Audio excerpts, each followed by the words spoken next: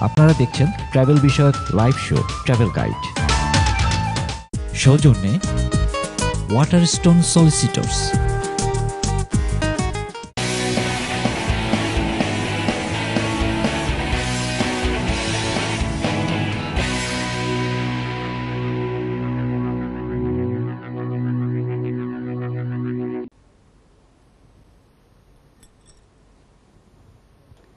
সম্মানিত দর্শক, বিরতি- সম্মানিত দর্শক বিরতির পর লাইভ ট্রাভেল গাইড অনুষ্ঠানে আবারও আপনাদেরকে স্বাগত। আর সেই সাথে ইউকে এবং ইউরোপের বিভিন্ন প্রান্ত থেকে আপনারা যারা দেখতেছেন, আপনাদেরকেও স্বাগত জানাচ্ছি।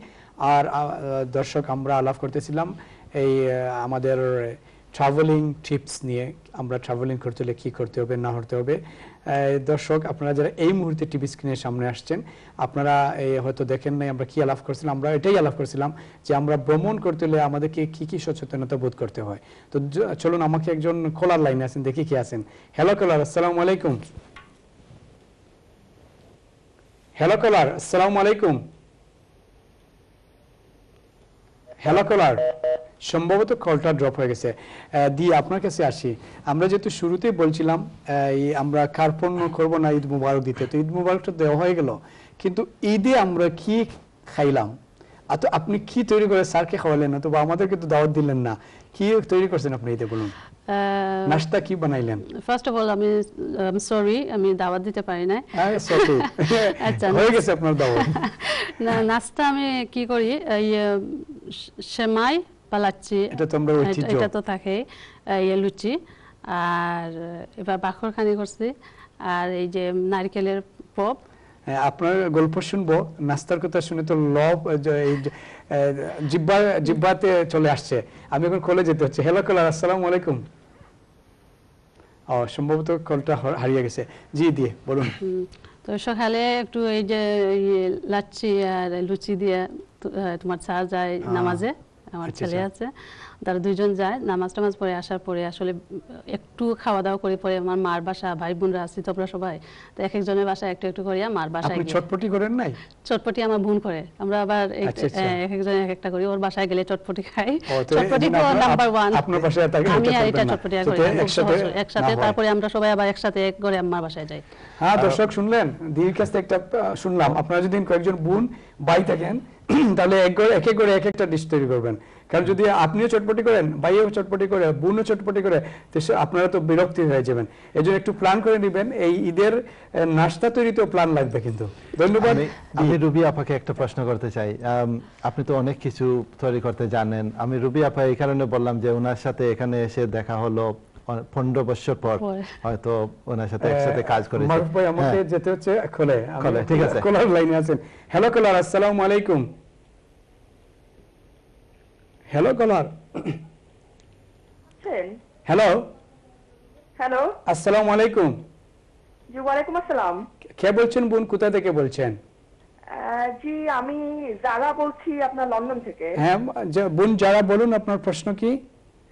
জি আমি আমার বাচ্চাকে নিয়ে আর কি প্রথমবারের মতো বাংলাদেশ ট্রাভেল করব হ্যাঁ। আপনার দুই এক মাসের মধ্যে। আমার হ্যাঁ। বাচ্চার বয়স দেড় বছর। জি। তো স্বাভাবিকভাবে আমার বাচ্চার কিছু খাবার আমাকে ক্যারি করতে হবে। হ্যাঁ। তার মধ্যে কিছু লিকুইড থাকবে। হ্যাঁ। তো আর আপনার কিছু ফুড পিউরে থাকবে। তো প্লেনের খাবার তো ও খাবে না। তো আপনাদের লিকুইড ক্যারি করার ব্যাপারে গাইডলাইনটা কি? কারণ আমার জানার মতে হান্ড্রেড এম এর বেশি আপনার অনবোর্ড ক্যারি করা যায় না হ্যান্ড লাগেজে হ্যাঁ। ঠিক আছে, আপনি শুনতেই থাকুন, আমি বলছি যেহেতু হিথ্রো এয়ারপোর্ট এবং ইউকে ইউকে এয়ারপোর্টের ভিতরে যতটা এয়ারপোর্ট আছে, সবগুলোতে একই রোল কারণ ওরা এই লিকুইড জাতীয় কোনো কিছু দিচ্ছেন না। হ্যাঁ যদি বাচ্চার বিশেষ কোনো অসুখ থাকে, যে ওকে লিকুইড দিতেই হবে, তাহলে হয়তো আপনার ডাক্তারের কাছ থেকে কিছু লেটার নিয়ে আসবেন। তারপর ওই লিকুইডগুলো দুধ অথবা যাই হোক আপনি তাদের সাথে ওই চিঠি দিয়ে তাদেরকে বলবেন এটা টেস্ট করে নাও অথবা আমি খাইয়ে দেখি। এই দেখো আমি খাচ্ছি। আমার এটা বাচ্চার খুবই প্রয়োজন। হয়তো তারা আপনার রিকোয়েস্ট অ্যাকসেপ্ট করতে পারে। বাট এটা অপশনাল এটা অপশনাল ধন্যবাদ। আমি একটু বলি ওই যে আমার পাউডার খোলা- খোলা আছে, জি। আচ্ছা আচ্ছা। পাউডার পাউডার যদি হইলে মানে একটু নেওয়া যায়। একটু আছে ছোট একটা মধ্যে নিতে পারে। আর, গরম পানি দিয়ে বলছেন দি বলছেন যে পাউডার যদি সাথে থাকে তাহলে প্লেনের ভিতর গিয়ে গরম পানি পাবেন তখন দুধ তৈরি করে খাওয়াতে পারবেন।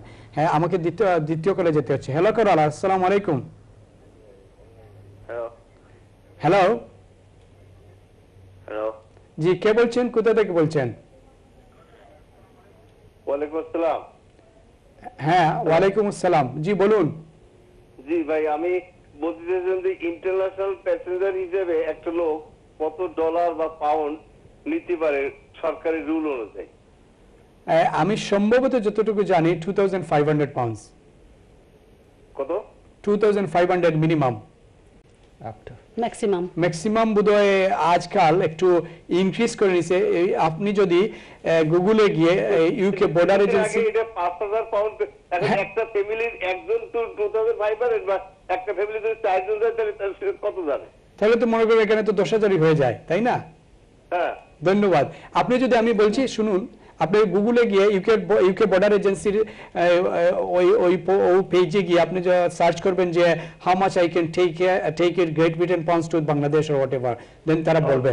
ধন্যবাদ। ধন্যবাদ আপনাদের ট্রাভাই চুজটা খুব সুন্দর হয়েছে থ্যাংক ইউ আপনাদের। আপনাকেও ধন্যবাদ আপনি আমাদের অনুষ্ঠান দেখছেন বলে।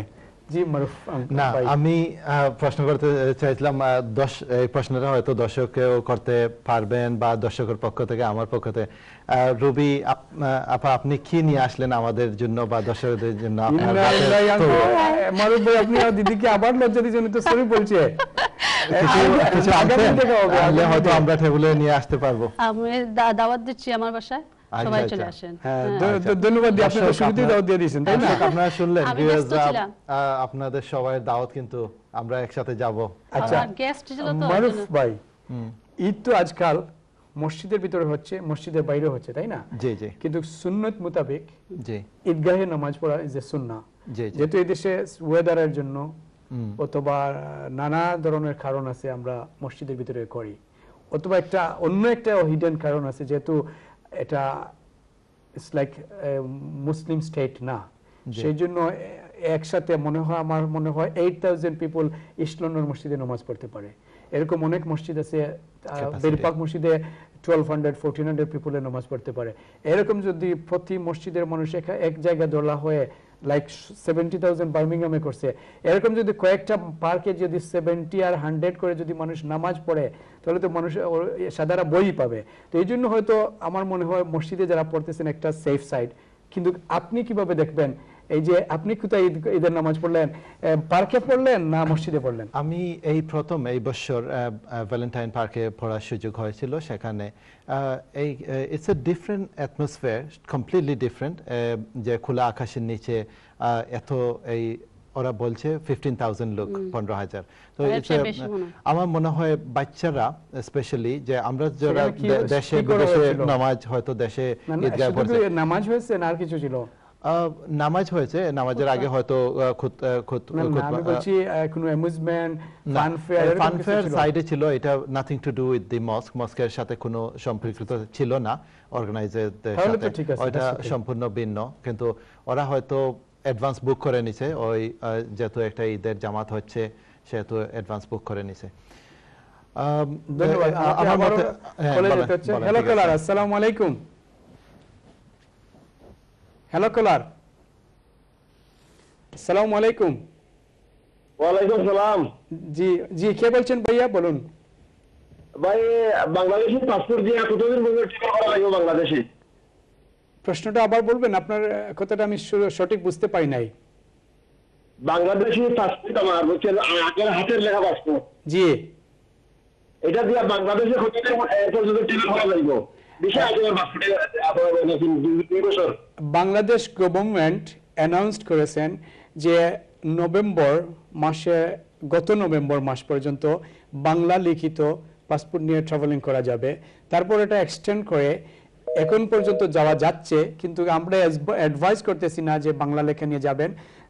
ডিজিটাল করিয়ে যাবেন। এটা কিন্তু অ্যানাউন্সড ওরা ডিজিটাল করার জন্য সবাইকে রিকোয়েস্ট করতেছেন। কিন্তু আমাদের দেশ বাঙালি আমরা ওরা অনেক সময় কনসিডার করে দেয়। কিন্তু হয়তো আপনাকে আসার সময় যাওয়ার সময় তো চলেই যাবেন। আসার আসার সময় তো আমার মতো কেউ পাবে আপনাকে। বলবে না ডিজিটাল ছাড়া যেতে পারবে না। তখন আপনি সমস্যার সম্মুখীন হবেন। তাই আমার অনুরোধ থাকবে উপদেশ থাকবে এখান থেকে ডিজিটাল পাসপোর্ট করেই যাবেন। ধন্যবাদ। জি দি আপনাকে এই তো আমরা খাওয়ার কথা বললাম।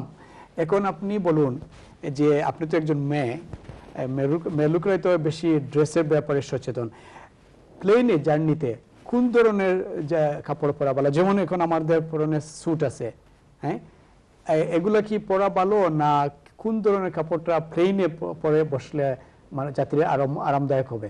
আমি প্রিফার করি যে আমাদের মেয়েদের জন্য সেলোয়ার কামিজ বা যে যেটা যে মেয়েরা ছোট বাচ্চারা ড্রেস বা শার্ট প্যান্ট ওইগুলো পরলে ভালো হয়। আমার মতো মেয়েরা যে মহিলারা মানে আপনার উপদেশটা হচ্ছে সফট সফট ডিলা ডালা। এই যে শাড়ি ডিলা ডালা কাপড় সফট যাই হোক soft, হ্যাঁ, হ্যাঁ। সফট কাপড় সেলোয়ার কামিজ হোক আর ব্লাউজ এন্ড ট্রাউজার হোক। হ্যাঁ। বাট সেটা সফট হবে এবং ডিলা ডালা হবে। হ্যাঁ একটু লুজ হবে একটু ঘুমাইতে পারে নড়াচড়া করতে পারে জুয়েলারি একটু কম পড়লে মানে জুয়েলারি তো আমি মনে করি অ্যাডভাইস করব শোনা তো পড়বেনই না। হ্যাঁ পরে অনেক না হলে তো অনেকে যখন বাড়িতে যাবেন রাস্তায় তো এই ডাকাতরাই ধরে ফেলবে বলবে।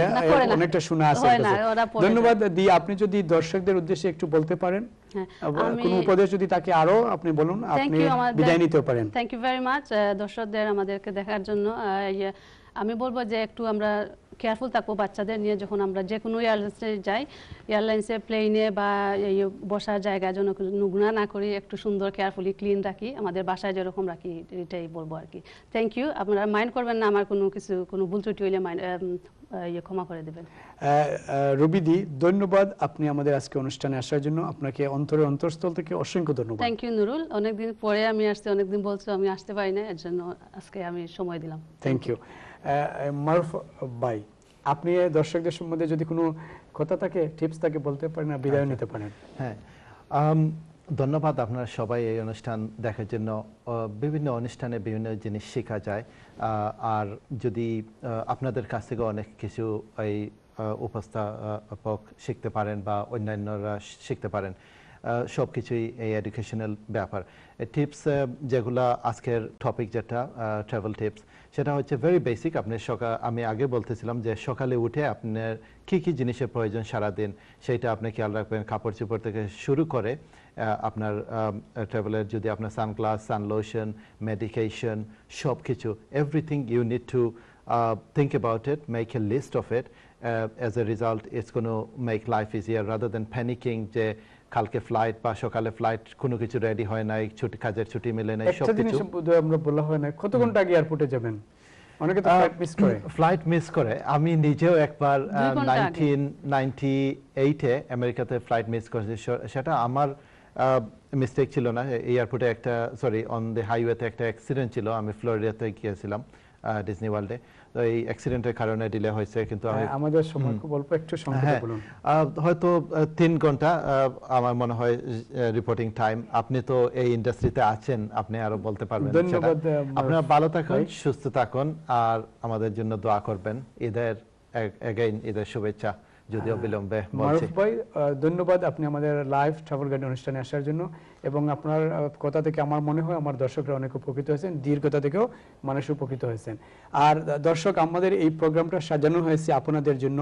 আর আমরা খুবই সবই দিন প্রতি অনুষ্ঠানে খুবই নেতিবাচক আমরা প্রশ্ন পাই, মানুষে আমাদের সাথে সহযোগিতা করেন, আমাদের সাথে ওয়ানে আলাপ করে তাদের আমরা প্রশ্ন এবং উত্তর আদান প্রদান করেন। খুবই প্রাণবন্ত হয়ে ওঠে আমাদের প্রোগ্রাম তো তাই আজও তার ব্যতিক্রম ছিল না, আপনারা যারা শুরু থেকে নিয়ে শেষ পর্যন্ত দেখেছেন।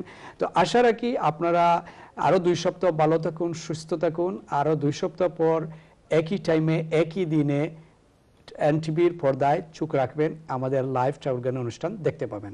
এই কথা বলে আমি আজকের মতো এখানেই শেষ করছি। আল্লাহ হাফিজ।